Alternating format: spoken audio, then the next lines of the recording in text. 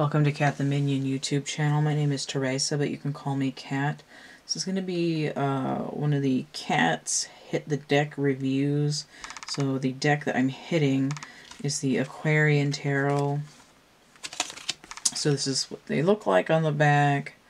This is a newer version, I guess. Um, so here's a little... I think it came in a cardboard box, I want to say. I don't think it was just shrink wrapped. Um, but it was like cheap and broken or flappy, so I threw it out. So this is sort of like, I think what the front was, was looking like.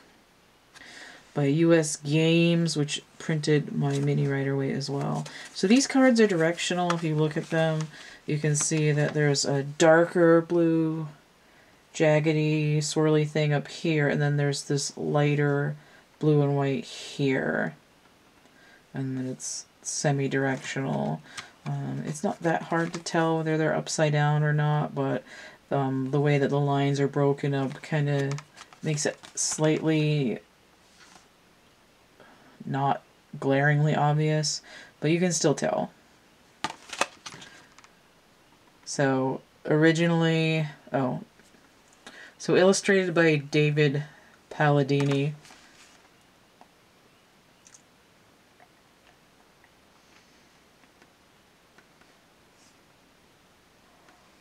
I think this originally came out in the 70s, so I just found out recently that the original back of the deck was um, orange with like a um, infinity symbol snake, and then they were just like plain solid blue. So this one, not as quite as cool as the snake, um, but definitely better than plain blue.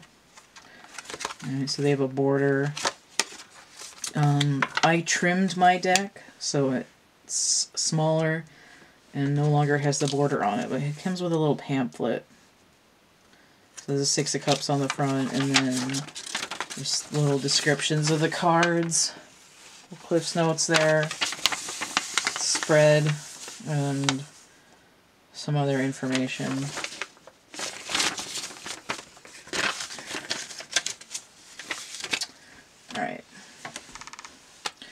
So I have trimmed my deck. It's like four millimeters smaller all the way around. And because it came out a little bit strange on the fronts, I had to fill in the gaps uh, between the little bars with a black Sharpie. So they're okay now. When I first started, it's like once you cut one of the cards, you're kind of screwed and you have to do the rest of them. So you can see um, when I hold them up like this where I've markered them with the Sharpie and on some of the bottoms as well. Um, but it, it works. It's, it's, again, it's smaller. It's, I'm not, I haven't used it that much since I trimmed it, so I'm not used to the smaller dimensions yet, because I used it like this for about two years, so, to get used to it. Um, okay. So we have the Fool here. I again, I think this was made in the 70s. They have a very, like, antiquated feel to them. I just, I like the style of art. It's like a is it Art Deco more than Art Nouveau? One of those. Let's see what my calendar is. It kind of similar. Oh, it doesn't say. Well, whatever this style is, it's like that style. I think it's Art Nouveau. Anyway. So we have the Fool. He's got the white rose like the, uh, like from the Death card. He kind of looks like the Page of Wands. Kind of off the bat. Uh, he doesn't have his dog because there's no room because most of these are close-ups. Um, but you can tell it's a young lad. He's got his, he's got a wand from the wand suit as well. But it, like, instead of a, a bindle. He's, he's setting out on his journey there. I, another thing that I like about the Fool card is that the O's are in a Vesica Piscis. So, peep that shit right there. Magician. He looks stoned as hell, too. I love all these little um, detailed swirlies and textures and stuff. And some of it right here, too. It's very, um, like, branchy and feathers and, like, fur kind of looking stuff. Um, but again, it's like it's like a watercolor with uh, thin cartoon lines. It gives it a little bit of a stained glass feel, but but like an old poster feel, like the the calendar that I showed. Um, so he's got the infinity over his head. He's got all the tools there. And his uh, belt is an Ouroboros snake or Ouroboros. I know I don't know. Nobody's ever told me how to pronounce that correctly. The High Priestess here looking like a combination of Snow White and the Evil Queen. Mountains and stuff. I actually don't really like this High Priestess that much, but I mean it's it's a nice drawing and it's interesting. A little bit of Mona Lisa vibes maybe. Uh, the Empress. So some of these figures have like their body is like a big block of color and it kind of kind of reminds me of the Muppets a little bit. Anyway, um, she's got a big stele with the Venus symbol on it. Very detailed. There's the Emperor. Looking very Eastern in his ways. The Hierophant. He's got one of those uh, TV rods up from the top of the house. Seen those in a couple of different Hierophant decks. I mean, you know what I mean. It's kind of angular down here, and the keys make me think of uh, the kite there with Benjamin Franklin. But again, it's like very much like lines and pattern and texture and color and like a lot of different layers. That's what I like about this. This is very detailed. Actually, I really like this lover's card. Again, it's just full on like 70s vibes for me. And the chariot. I'm not sure. I'm never sure what the hell this shape is supposed to be. I think maybe that's supposed to be the front of the chariot. But again, it's very textured. It looks like a portal. He's ready for battle. Oh, he just got like moon epaulets. I haven't really noticed that. Strength card. So it, it's weird because there isn't a lion here. There's like a dog maybe. But he looks like um, kind of like a samurai an unusual strength card, number eight in this deck. And then we have the Hermit. Classic Hermit. I love this structure down here. And his lamp. My doctor says my lamp. Mm, wheel of Fortune. Pretty bad. This actually kind of looks like, to me, what the chariot should look like. But that's alright. It's a wheel. There's snakes. It's all good. We got Taurus and Leo down here.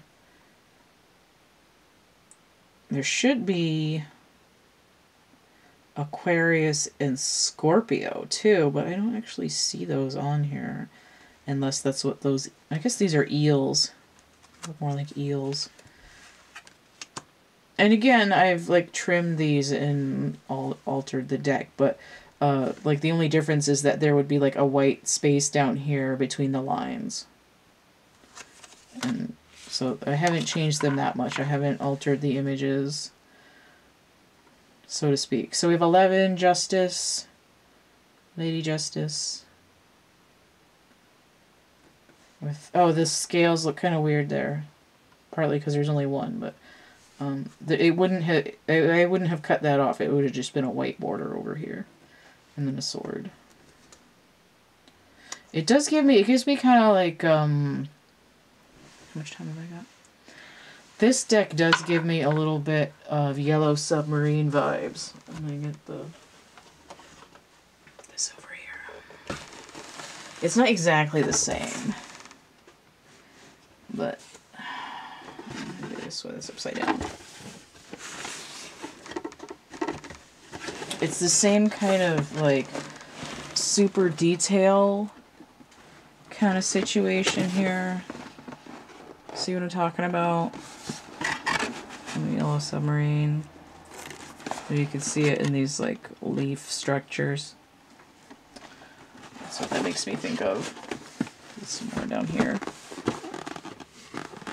That's what these and Yellow Submarine came out in 67, but this is more of a the 70s was more like earth tone, but with like the same kind of vibe. So that's what this gives me. So the Hangman. Looks like Alan Cumming. And he's also got acid reflux. Death card. Kind of like Voldemort there. Okay, now this normally has a white flower on it, but the flower on here is like charcoaly. And um the Rider Waite, there's a sunshine between the two pillars from the moon, and here it's like two very phallic towers, but in a red sunset or sunrise. I mean, the sunrise on the new day. Um, so aside from this close up here, um, this carries over from the traditional Rider Waite Pamela Colman Smith edition. Temperance. Great bird here. An angel even. Like owl tummy. Also looks like she's wearing a space helmet. I mean, she's she, but it could be gender neutral. I like this devil card because it's um it's like a skeleton bat situation. And the fire is like pointy mountains. And this fire paintbrush thing here. It's just different. A lot of more beige than the devil tends to be. The tower. So there's no people jumping out of the tower, but we do have flames and we do have lightning bolts, which are often seen, and we have a whole lot of water down here. So sometimes the tower has water under it and sometimes it doesn't. It's just like spray and steam and all that. Very violent and active. I really like that one. we have the star. So this has like a portal and a bird of paradise. There's like dark clouds and mountains. Sort of textural details. Vibing this font down here. And the bird of paradise. And the star. So the moon card. You know, just not much to say. It kind of looks like a bowling alley. And the sun card. Good day, sunshine. This is, some of these look kind of like, um, like neon signs. A little bit. I dig it. Judgment card. So there's no people here, but we have, well, we do have occasionally the horns and then a cross flag. Um, sun rising and stuff. So some of the same similar things, just no no zombies. this perm here, Jesus Christ. Um, so we have the world card. This sort of orientalism going on here with this outfit. The um, um, what was I gonna say? Oh, this the woman in the middle of the the wreath here on the world card is unusual because she's wearing a full set of clothes and a turban. And then we have the four symbols here, Taurus, uh, Scorpio is an eagle here. We have Aquarius with the person, and then Leo down here. A lot of texture. Okay, so the wands in this deck are called rods, which we do see sometimes in different decks. And they really give off the the uh, yellow submarine vibes for me um, with the rods here. And they're usually flowering. So if the ace, it's giant, it's huge, it's going to be eating a dentist next week. So we have the two of rods here, sort of the basic situation of the guy with the crystal ball and the two rods. Again, it's an extreme close-up, but check out the detail on his gloves. Pretty sweet. Uh, sometimes the there'll be uh, like emblems on here. Here it's um, flowers.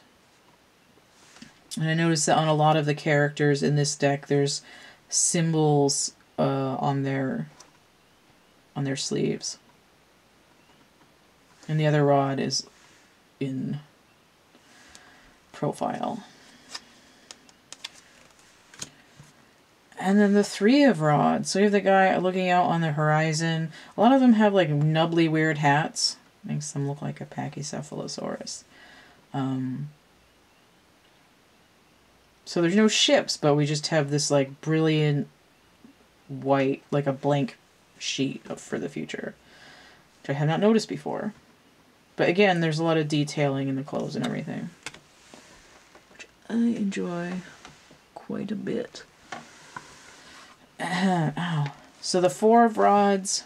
So we have this um, arbor situation happening here, and then the castle in the background.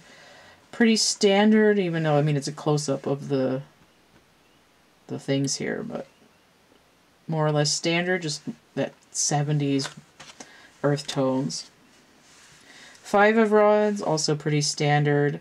Although they're they don't look like they're actively hitting each other. They look like they're just kind of um, dicking around um, because they're bored. Like they're not like super angry in this. This guy looks like he has an axe to grind, but everyone else is just kind of like waiting for the tower to give them some orders or something. They're they're like those uh, guys in the barracks that were jousting with mop buckets. They're just kind of bored. Six of rods. Pretty typical. We got the horse. We got the wreath. We got the guy. Pretty standard. Seven of rods. You cannot go in this guy's bakery. He will fuck you up. I'm just kidding. But I mean, this is sort of a standard representation. There's, you know, rods coming up and then the guy's trying to bar the way. Although you don't normally see the person holding the seventh rod horizontally, so that's a little different.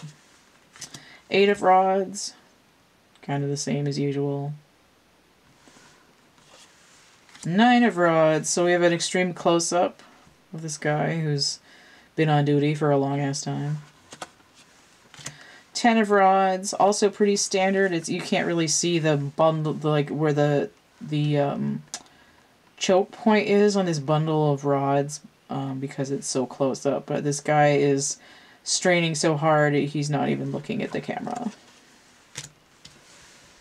Okay. So Page of Rods. He's like coming out of a marsh, which I always find kind of interesting.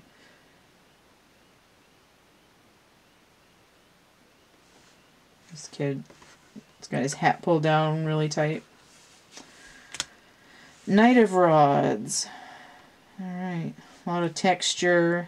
His rod is pretty pretty honking too. He's he's up close so much that you don't see a horse, but I mean his rod is much thicker because he's he's got like more of a battering ram than a, a branch. But uh, and all, I think I think all of the the knights have uh, helmets with plumes on them. I could be mistaken though. I'll have to check.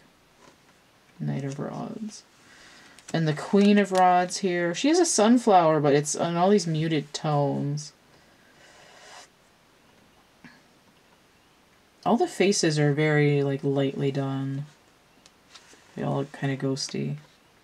Okay, and here's the King. He's got, like, a... he's got, like, a hood ornament and a headlight on his head. You know, where would you want to wear? We don't judge. He has a pretty big rod, too.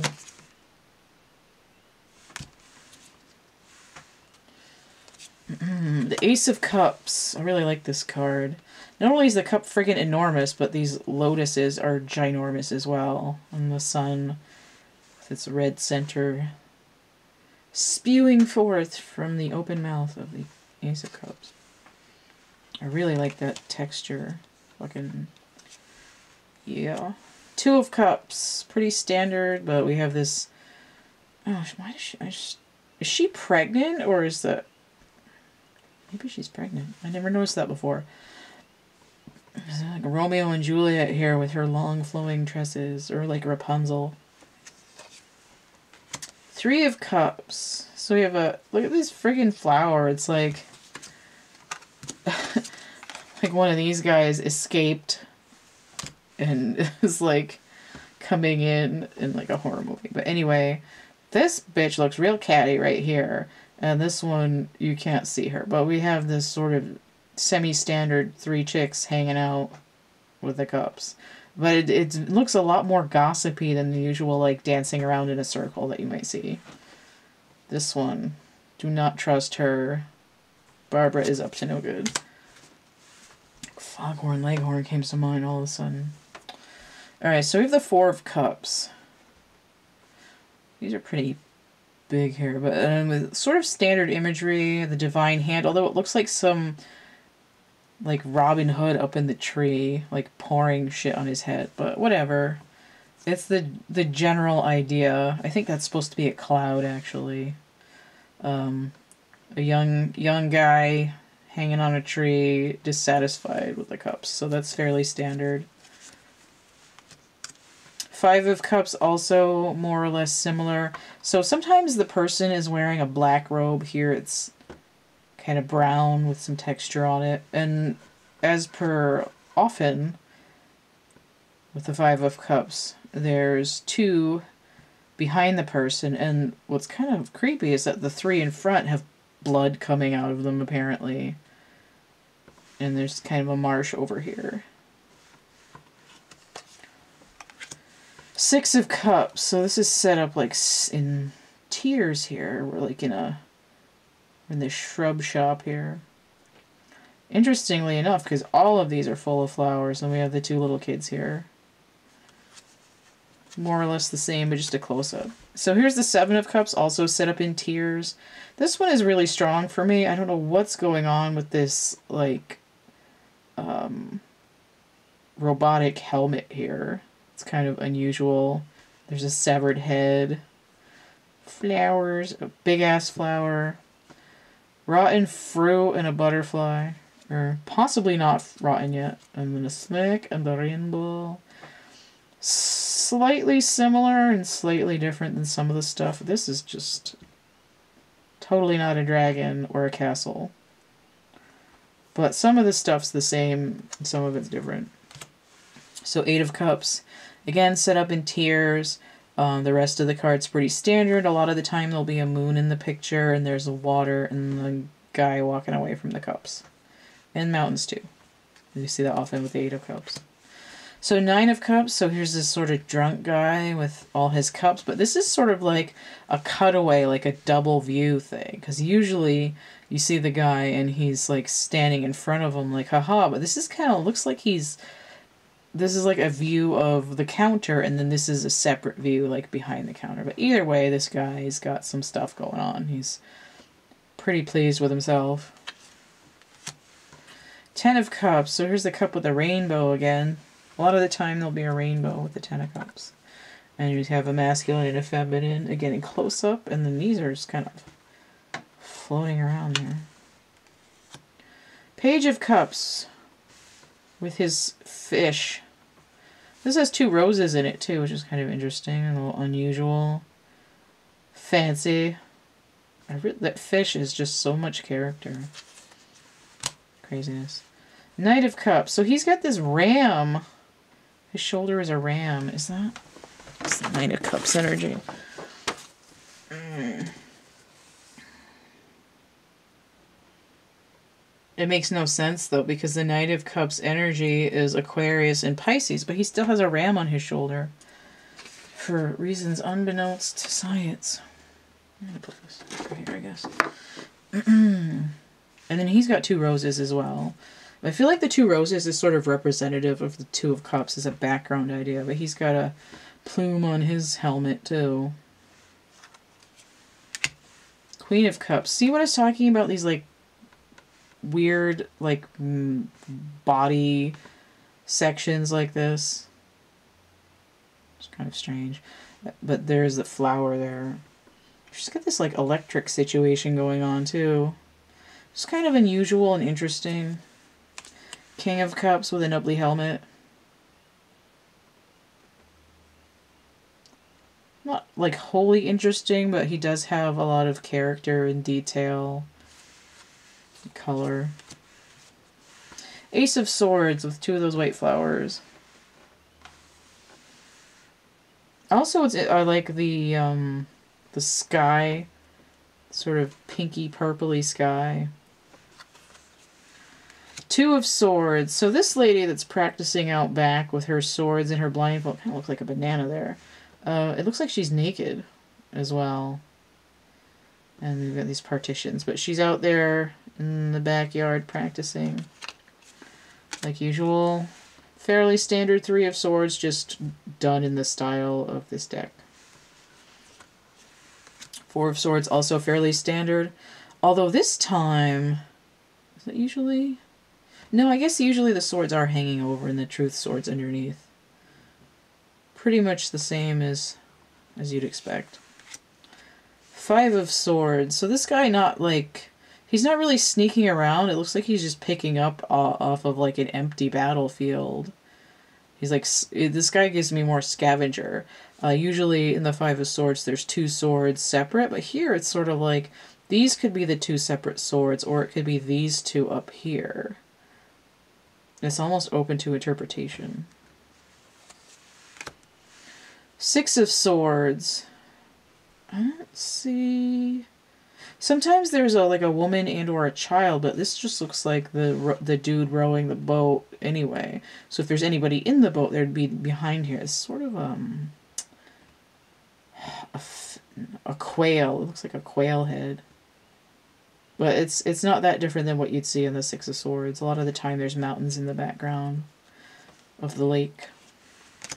My hands are dirty from this ink. Seven of Swords.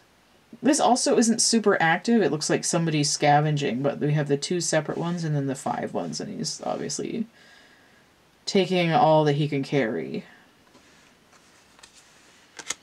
Eight of Swords, fairly standard. Again, this woman is not naked. Like the, um, the World card. Otherwise, lightly tied, blindfolded, same, same. Nine of Swords, fairly similar, although I guess this is supposed to be the bed, but it looks like she's standing in front of like a sarcophagus or something. Maybe it's just drawn weird, but I mean, somebody who's woken up, usually a female, eyes covered, swords over her head. I think I've seen them sideways like this, and I've seen them pointing down. Although I think in most tarot, they're usually sideways. Ten of Swords. Again, pretty standard imagery. Kind of a close-up of this guy. Got two of them in his ass. He ran out of room. Page of Swords. He looks like he's almost ready for his war helmet. And the Knight of Swords. Okay, so he doesn't have a plume, but he's got one of those little friggin' uh, like a is it Phoenicians or that had those kind of shaped hats or what was it? It was one of those people. They had those little Smurf shaped hats. I don't remember what the fuck they were. One of those like ancient groups of people, they had hats that were shaped like that. But his cat, it kind of looks like uh, like a World War One helmet. That's. I was gonna, I was gonna say that got like combined with like a squash or something, but it looks like somebody put a condom over a helmet. Um, so Knight of Swords. I don't normally make fun of this guy. Because he can cut you with that. Queen of Swords. She's armed and ready to go too. But she's not very threatening. She's got a lot of flowers too. Right, she like she's kind of guarded but uh, inquisitive, let's put it that way. King of Swords. He's actually in battle right now. He's got, look at all the plumes he's got coming out of his helmet. And he's got a, oh, see, because he's not wearing his crown on his head. He's got it on his shoulder. Interesting. Okay, Ace of Pentacles. So in this deck, the Pentacles are red.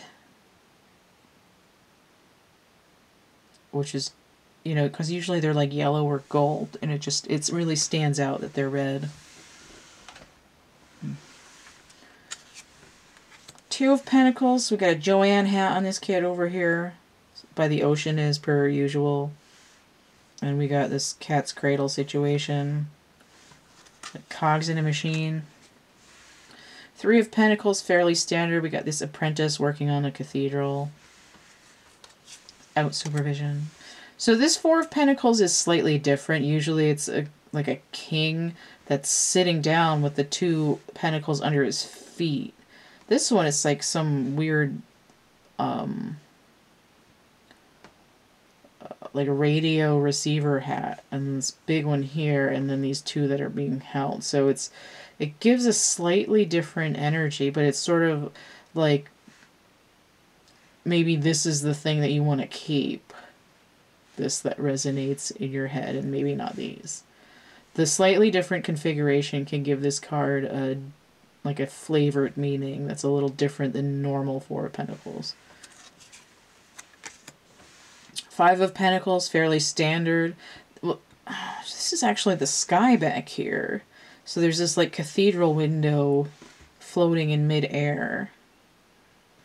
Just kind of, I haven't really noticed that before, but um, otherwise fairly standard. The pentacles are in the cathedral window, and there's the two people suffering down there, and you can tell it's winter because there's snow on the windowsill. On the window sill. Six of Pentacles. Okay, so this isn't... It does have a balance in it. Um, a little bit different than normal. So we have these six pentacles just kind of stashed around. And this guy looks a little bit more judgy, but it's it's sort of like you don't see the the two poor people that would, in theory, get these pentacles. So it's a close-up. It's a little bit, just like a little bit more of an idea of duality.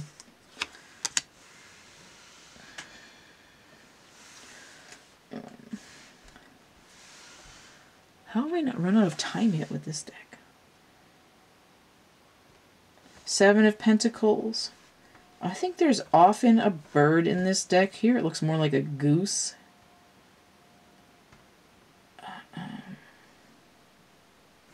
Oh, no, I'm thinking of the nine. My bad. Okay.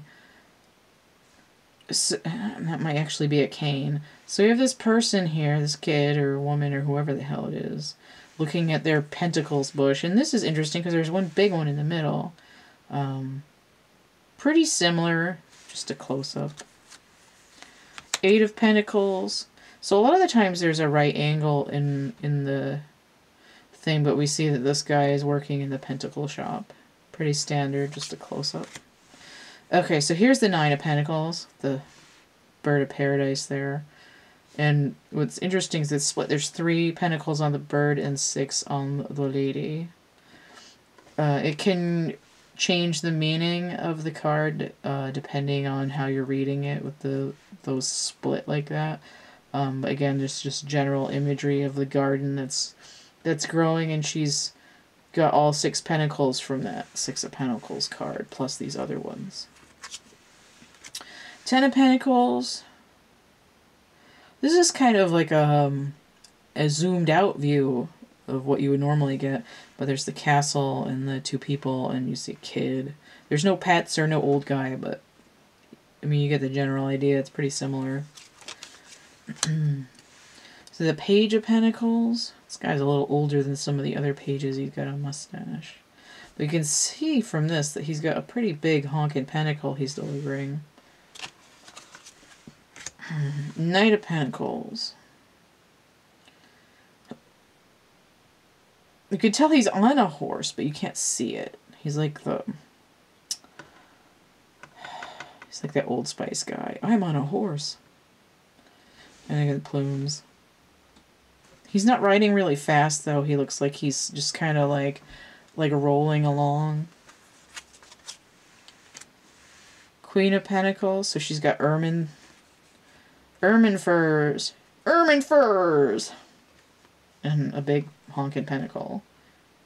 This is weird because all she has is sky behind her. Usually the Queen of Pentacles is very green, but it's just a little different than usual. and the king here. So not only because of that, um, well, partly because of that, though, I just get like huge Taurus vibes with the King of Pentacles, but I believe he is. yeah, he's Aries and Taurus. And then his pentacle is huge. So that's the Aquarian Tarot. I don't really have anything exciting to say about it. I mean, it's just it it does tend to give a different flavor to readings than other decks would just because the artwork is different can lead to different interpretations. Like a lot of like i might end up getting more devil energy than i normally would have because of all those red pentacles especially if the card was inverted. So you can see they're pretty crispy mine are a little bent because i've been using them for a while. Uh, the edges are kind of sharp because i did trim them but it's not really any more difficult well might be a little bit more difficult to shuffle them now that they're trimmed because it's a little bit stiffer overall. Um, but they're they're generally pretty easy to shuffle.